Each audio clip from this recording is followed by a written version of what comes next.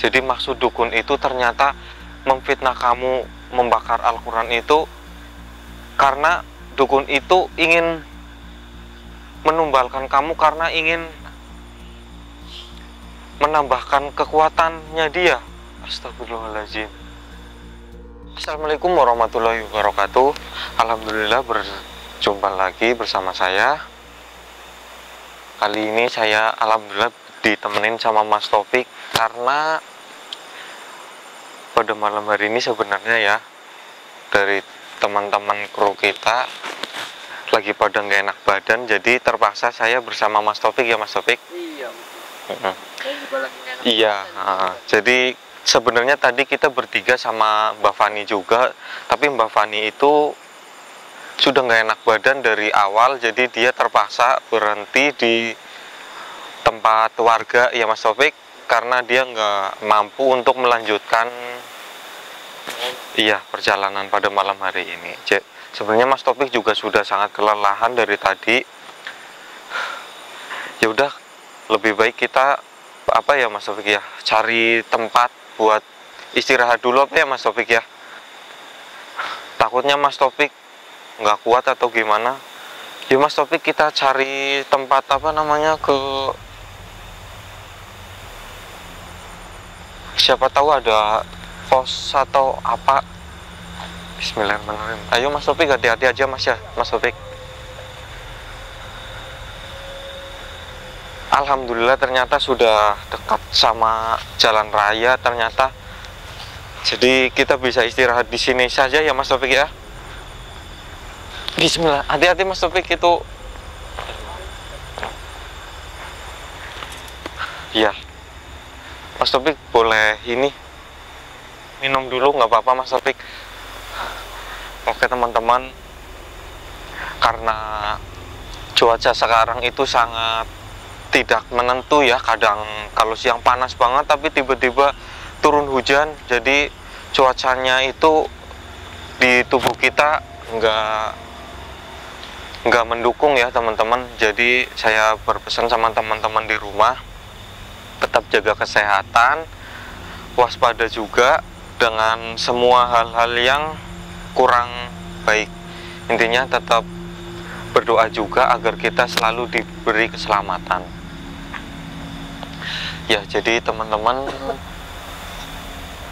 sebenarnya maksud tujuan saya di sini bersama Mas Topik dan Mbak Fani juga tadinya kita mau menelusuri di bawah sana ya Mas Topik ya. Di di lereng bawah sana sebenarnya kita ada tujuan mau menelusuri ada sebuah kejadian katanya ada sebuah rumah warga yang tiba-tiba terbakar tanpa ada sebab. Astagfirullahaladzim ya Mas Topik katanya berdasarkan informasi itu rumah tersebut itu penghuninya. Penghuninya itu adalah salah satu dari dukun warga di tempat. Jadi dukun itu katanya sering melakukan hal-hal yang tidak baik makanya tiba-tiba rumahnya itu tiba-tiba terbakar. Nah kita mau mencoba untuk menelusuri ke sana mau menyelidiki sebenarnya apa sih yang sudah terjadi dan selama ini apa yang sudah dia lakukan? Astagfirullahaladzim Mas Taufik. Saya melihat ada sesosok bayangan ya di depan sana. Astagfirullahaladzim.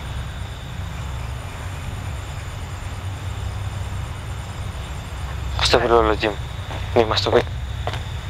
Itu Mas Taufik di sana Mas Taufik Kelihatan gak Mas Taufik? Iya ya. Mungkin mungkin seperti biasanya mungkin ya. Saya rasa itu ada sesosok Astagfirullahaladzim. Iya, saya rasa memang seperti biasa saya menelusuri sama Bang Indra, kayaknya ada sesosok yang ingin menjumpai saya loh Mas Topik. Astagfirullahaladzim.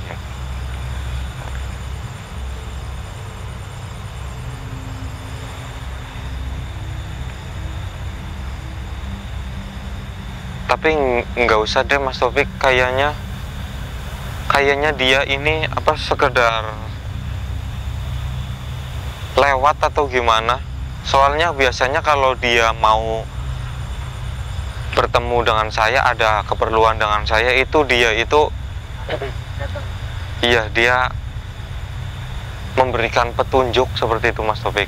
Tapi ini cuma sekelibatan seperti itu tapi saya merasa dia kayak mau minta tolong sama saya tapi ternyata dia langsung pergi gitu loh Mas Taufik. Nggak seperti biasanya loh.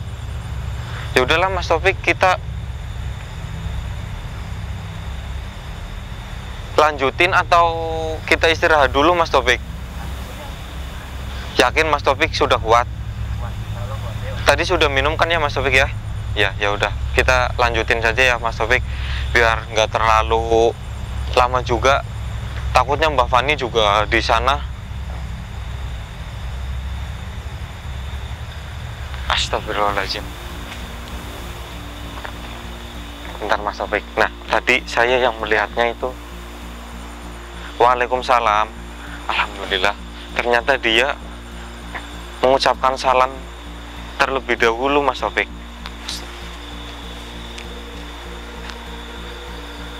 Kamu siapa? Astagfirullahaladzim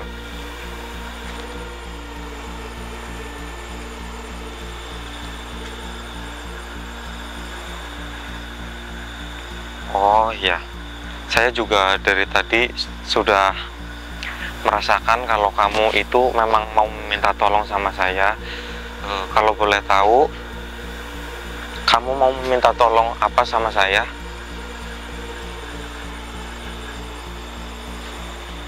Astagfirullahaladzim.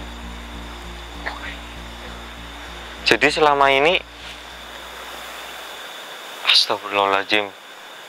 Terus orang tua kamu mengetahui apa tidak?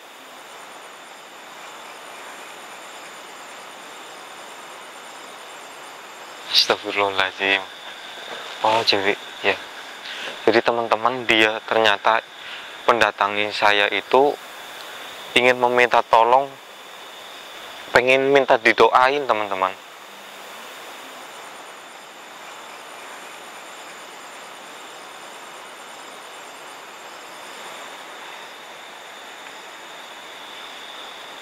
Jadi ceritanya itu dia ini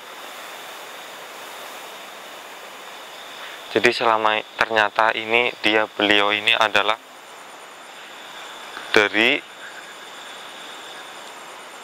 dari Ustazah yang menjadi korban fitnah. Kalau boleh tahu fitnah apa, Mbak? Astagfirullahaladzim. Jadi ada kaitannya nggak sama duk, rumah dukun yang terbakar itu? Astagfirullahaladzim. Jadi selama ini Mbak ini adalah korban fitnahnya dia. Ya Allah, astagfirullahaladzim. Terus Mbak minta tolong sama saya, minta didoain. Oh iya, benar. Ya, Mbak seharusnya harus ikhlas karena ini memang sudah terjadi. Ya, saya harap Mbak tenang di sana. Ya, saya akan membantu mendoakan Mbak sama teman saya. Dan nanti saya juga akan menguak, bukan menguak. Nanti saya akan membantu apa yang sudah terjadi sama Mbak, saya akan menceritakan sama perangkat-perangkat desa di sana. Ya, iya. Tapi kalau boleh tahu, eh, pas waktu kejadian itu dukun itu melak- dia melakukannya sendiri atau bersama siapa? Allahu Akbar. Astagfirullahaladzim. Allahu Akbar. Jadi ternyata teman-teman dukun dukun itu ternyata melakukan kejahatan itu terhadap Mbak ini ternyata bersama komplotannya. Hah? Astagfirullahaladzim. Iya, iya, iya. ternyata ada 12 orang. Astagfirullahaladzim. Jadi awal mulanya itu kenapa mbak kok bisa jadi jadi korban?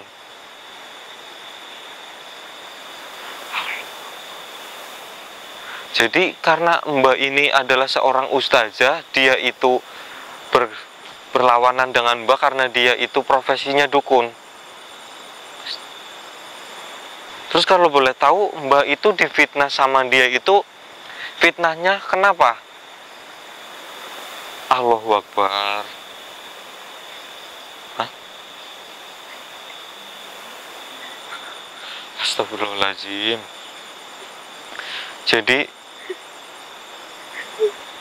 jadi teman-teman dia itu ya Allah dia sampai menangis sedih seperti itu. Jadi memang ini perbuatan yang sangat keji dari dukun itu ya ini adalah korban dari fitnahnya dia. Katanya itu dia difitnah telah membakar membakar Al-Quran. Padahal dia niatnya itu berangkat dari rumah mau mengajar anak anak didiknya dia. Astagfirullahaladzim terus dukunnya itu Astagfirullahaladzim. Jadi maksud dukun itu ternyata memfitnah kamu membakar Al-Quran itu karena dukun itu ingin menumbalkan kamu karena ingin menambahkan kekuatannya dia. Astagfirullahaladzim.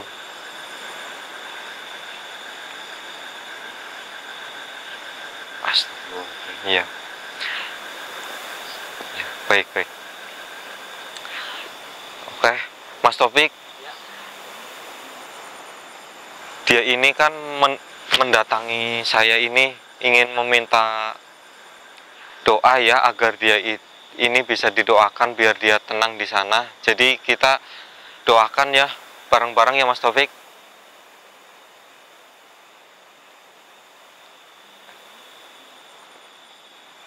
Ya Mas Taufik kita langsung saja ya. Kita bacain doa bareng-bareng Bismillahirrahmanirrahim. Ila ruhi Al-Fatihah